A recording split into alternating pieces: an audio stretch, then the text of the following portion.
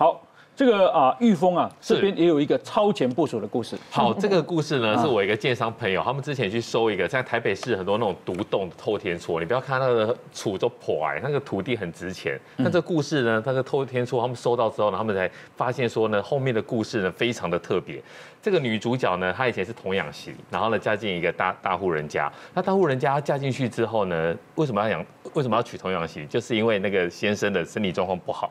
结果呢，结婚没多久，先生就走掉了。他走掉之后呢，哎，大伯跟小叔其实他们的呃学业成绩都很好，都出国去念书了。那照顾公公婆婆就是这个童养媳。那公公后来走掉之后呢，这婆婆就是。呃，活到比较久的一个岁数，那等到呢，哎，婆婆走掉了之后，后来也走掉了，那这个大伯跟小叔就从美国跟日本就飞回来，飞回来当然就是要拿遗产啊。可是查下去之后，发现他们家这个主错透天错被抵押设定了，嗯，抵押抵押设定了，然后这个小叔就觉得很奇怪。他说：“我妈妈怎么可能把我们家的房子抵押设定出去？对不对？这是周楚内，然后呢，就怀疑这个童养媳，你是不是去外面勾结别人什么什么的？后来找了律师，然后也找了钱庄，也找了这些建商，就说你要买我们这房子，这个我们要打诉讼。嗯，我妈妈不可能那个嘛。然后童养媳就拿出一个单子，就说：哦，这是妈妈。”要离开前写的信，因为妈妈知道说呢，我跟你们家是不会有遗产的，所以呢，妈妈写了一封信，然后给给大家证明说呢，这个房子当初设定是为了要照顾我的。阿静哦，看到这个信哦，马上就冲过去，就直接就说，哈哈哈，我妈妈不认识字，嗯，还会写信，然后呢，就说你这个一定是字你自己写的。结果呢，大伯一看到啊，就拿来，哦，眼泪就掉了。因为那个信吼，确实那个那些字啊，都是童养媳写的。可是大伯看到他下面吼，这边打了一个叉叉，还是画了一个十字。他说，他跟他弟弟讲说，哈，这是妈妈的意思没错。好，这一笔我们认了，我们吞了。因为他说小时候要写要签联络本，妈妈不识字，只会打一个叉叉，还是画个十字。哦，所以大伯是有经历过那个时段。那我觉得那个那个那个妈妈真的是很伟大。嗯，因为到最后其实哈，你越我们讲说哈，你看重宅都没有在身边，对，好，那到最后就是这个新不在顾他，然后等于是顾了一辈子，他也没有在在找第二春啊，那也也幸好大伯算是明理的，哈，看到那个十字就说好，那那个那个钱哈，我们来跟我们来跟建商处理，好，那当初你这笔钱就留给那个童养媳了，呀，嚯。这个呃，我被讲啊，你叫我够搞哦，我拢在美国读博士哦，拢嘛不被瞪啊，对啊，真的，对不对？哈，好，那 高雄呢，有一位陈姓妇人的先生啊，在十五年前过世，没有想到啊，他继承了四百三十三万的啊遗产以后，竟然没有报税就消失了。那案子后来啊。啊，这个交到华务部行政执行署的高雄分署，啊，那高雄分署呢，很多次的联系这个陈父的儿女，啊，要求引出来处理这笔账，结果子子女都很无奈，说，哎呀妈，吹波妈妈啊，好，那这个盛美情形是怎么样？这是因为她的老公过世是在二零零八年，所以她可以继承的是四百三十三万的遗产，而且都已经顺利继承了。对。那因为你继承了遗产呢，你同时你要缴遗产税，所以是不是有一笔这个钱？那国税局就一路追追追追追，就发现哎，这个陈姓夫人根本就不在台湾。嗯。也就是说，她二零零一年出国去之后，根本就没有在台湾了。可是这个钱她也继承了。那对国税局来说，这样也很危险。这样回来，他这就被除籍了呢。对对啊，那可是他是又是怎么这个钱进了他的户头？进了他户头之后，也已经查不到这些钱了。嗯，好，反正已经是他的了。那对国税局来说，不论如何，我就是要要回这个税款嘛，就是你必须要缴这个遗产税。嗯，啊，现在人不在，就像刚红衣大哥说，跟他子女讲，子女说我们也联络不到他，就妙了。嗯，你妈妈在哪？不知道。总之就是不在台湾。好，那我们现在就清查他底名下有哪些财产。哎。找到了一笔，就是所谓的保单。嗯，好，那这个保单大家都知道嘛，但有些是三年，有些五年可以解约之类的。所以呢，其实这个呃公家机关呢，这个执行署就去函给这个保险公司说我们要扣这一笔，但保险公司意思是说没有当事人来，我没有办法解约。这其实对当事人也是一个保障，嗯，但是你不解约，这个诚信夫人名下就只有这一笔，那我还是拿不到这个遗产税。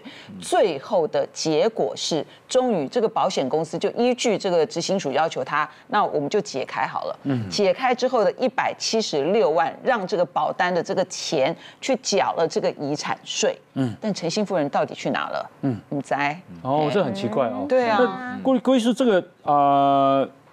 所以他税不用缴啊，人不用回来就没问题了。没有税缴啦，从保单里面缴。保单啊，对，其实还是要缴。所以基本上，呃，行政执行署像追这种案件哦，他一定是追到天天荒地老了哈。啊，但是一般来讲，它有个时效，大概就十年的一个时间可以来来追。那税的部分，你先不要多。用过该该做国税局来做。哦，追追到天荒地老。对啊，对啊，他就可以去就不放过任何一个。对，没有错。那那其实本来行政执行署在追这种税的时候，他本来都可以跟国税局去调这些资料，或者金融机构去调这些寿险的资料。嗯，所以也还好，刚好有有查到这一个保单了哈。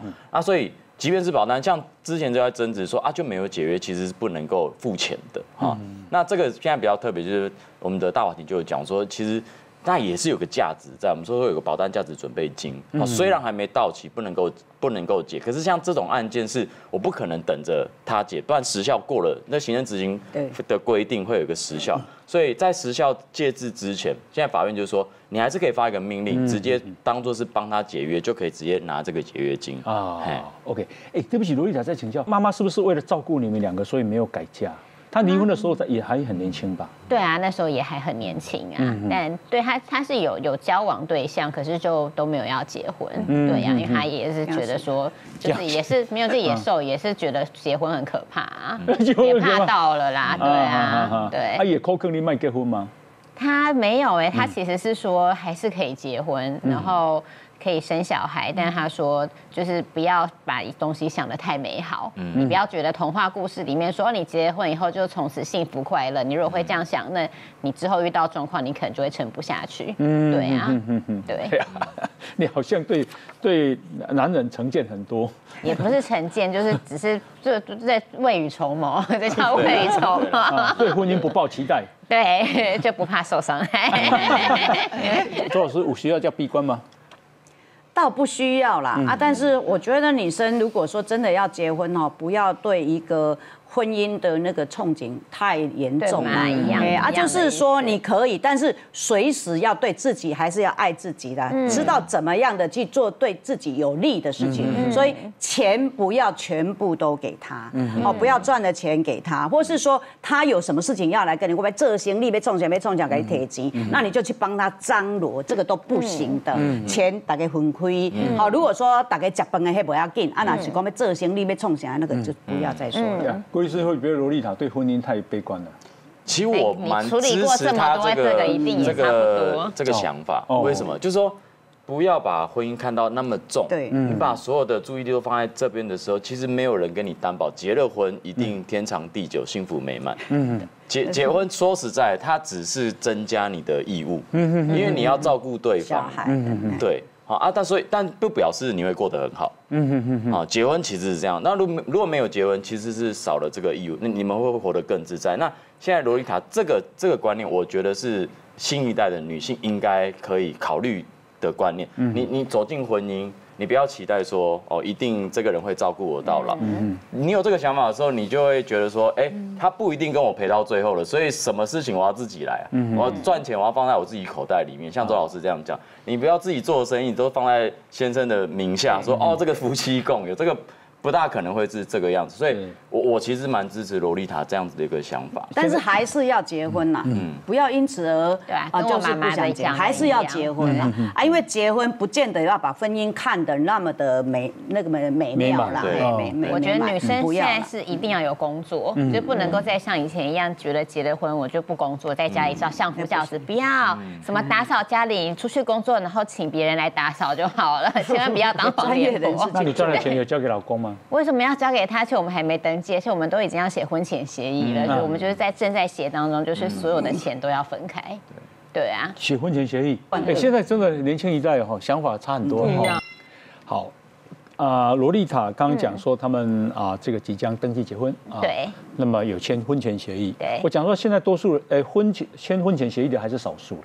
对，哦，那再来，呃，婚前协议的重点是钱，就是说你的是你的，我是我的对，哦。那还啊、有没有一个就是外遇条款？有这个是一定要加在里面的。然后老实说，现在也为了这个条款，我们就是卡在那边，一直没有登记这样子，因为对于赔偿的金额有一点在起争执这样子。然后因为这个，为了这个，我就还蛮不开心的。我就前几天都在跟他吵架，嗯因为。那个，比如说当时律师假设帮我写了三百万好了，他说哦正常好了，那个三百万吧。那三百万，我当然看到也想说，以我现在年纪有好多、哦，可是我就会想说，那我就不要外遇，就不会出事啦。嗯对。结果他看到这个之后，他也非常实际的说，我觉得三百太多了，两百可不可以？居然跟我杀价！